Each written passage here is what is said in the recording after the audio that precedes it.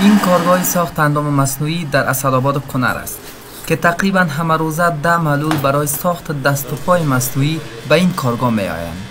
اما آنان قبل از این برای ترمیم دست و پای مصنوعی به جلال آباد می رفتند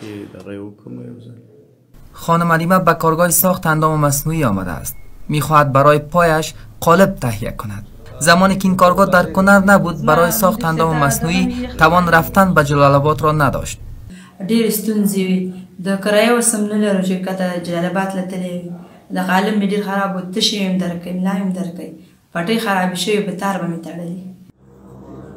امانت خان می‌گوید چند سال می شود که به اثر انفجار ماین پایش را از دست داده است. و می افزاید زمانی که این کارگاه در کنر نبود برای به دست آوردن میخ برای قالب پایش به پشاور رفته.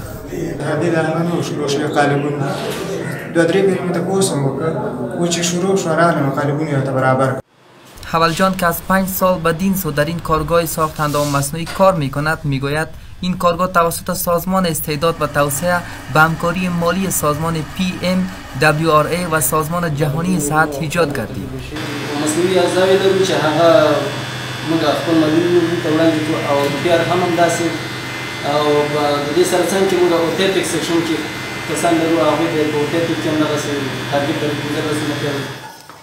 حاجی محمد سرور مسئول این سازمان در کنر می‌گوید تلاش ما این است تا اندام مصنوعی بسازیم و معلولین را قادر سازیم دوباره کار کنند و از احتیاج به دیگران خلاص شوند. پرمیش کې نارملی یعنی په نورمال اندازه موږ تقریبا یو سلو دیرش یو سلو څلوېښتو معلولینو ته خدمات ترسره کوو. مسئولین اتحادیه معلولین در کنر می‌گوید در این ولایت بیشتر از 6000 معلول وجود دارد که با کمک این کارگاه از رفتن به جاهای دیگر برای ساخت اندام مصنوعی رهایی پیدا کرده